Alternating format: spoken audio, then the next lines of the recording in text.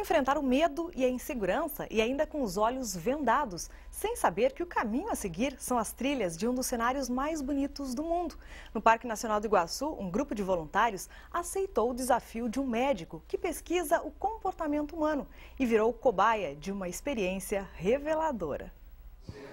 O grupo se reuniu em uma academia de ginástica no centro da cidade. Lá os voluntários ficaram sabendo que iam dar um pulo no escuro. O médico Mohamed Bazi, especialista em medicina comportamental e neurocientista, explicou que as cinco pessoas iam participar de uma experiência envolvendo a hipnose, onde todos ficariam com os olhos vendados durante quase cinco horas.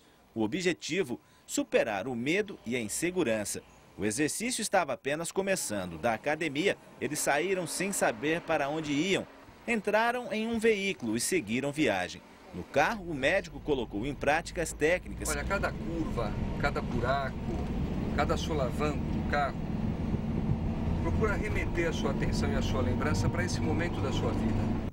40 minutos depois chegaram ao local do teste, o Parque Nacional do Iguaçu, sem a visão, tudo fica mais complicado. No exercício na mata, cada um tenta lembrar de momentos marcantes na vida, aproveitando a tranquilidade da natureza.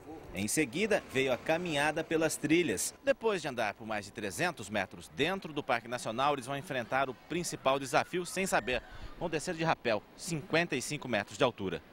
O que será que a turma estava pensando nesta hora? Bem curioso. Você não sabe o próximo passo, a insegurança que dá de cair ou tropeçar em alguma coisa. Um a um, eles foram levados pela plataforma que fica em um dos paredões de pedra das cataratas, colocaram os equipamentos de segurança e desceram pela corda, apenas imaginando o que se passava. Você sabe exatamente o que você fez? Mais ou menos, mas ainda bem que eu não vi.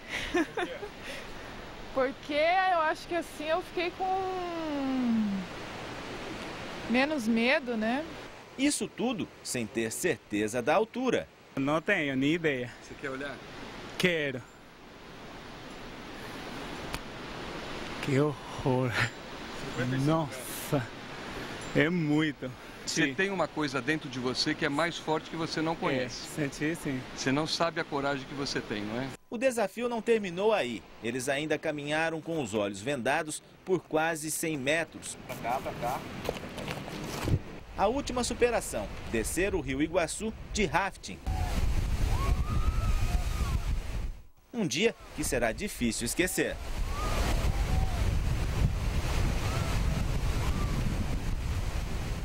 sem palavras para descrever essa sensação aí.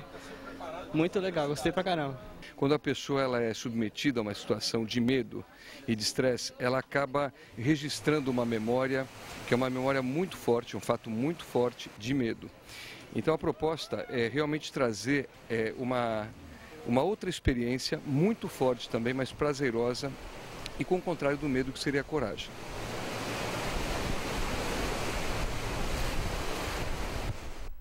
E a seguir tem o Globo Esporte. Uma ótima tarde para você e até amanhã.